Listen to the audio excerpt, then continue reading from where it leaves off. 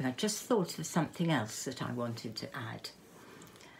As we get older, when you are maybe my age, you have a lot of wrinkles and your body starts to go a bit old and shabby on the outside. Your hair gets a bit thinner.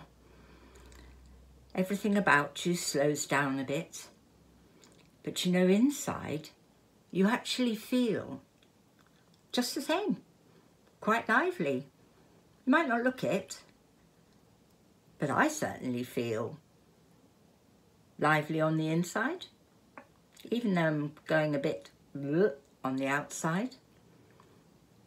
But you know, it's very interesting to speak to older people, older than me. They have some really interesting stories.